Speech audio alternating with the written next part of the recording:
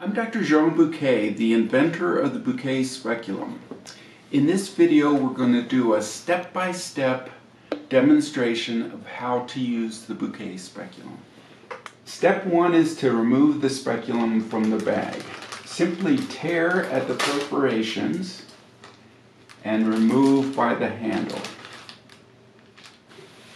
Step two is to lubricate generously the speculum and then you want to advance the dilator and retract it several times.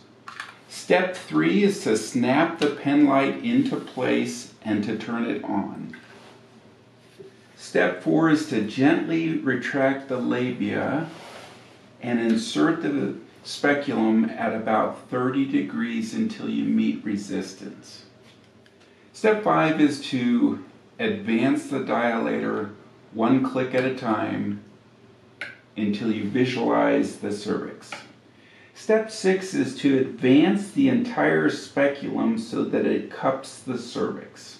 This is an example of how the Bouquet speculum can be used to cup the cervix and to visualize the entire cervix. In this step, you want to advance the entire speculum so that the petals cup the cervix.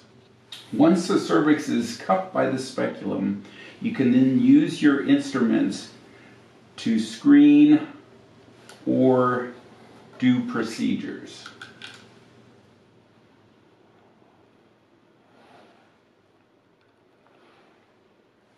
Step 8 is to simply uh, retract on the dilator and remove the speculum in its entirety.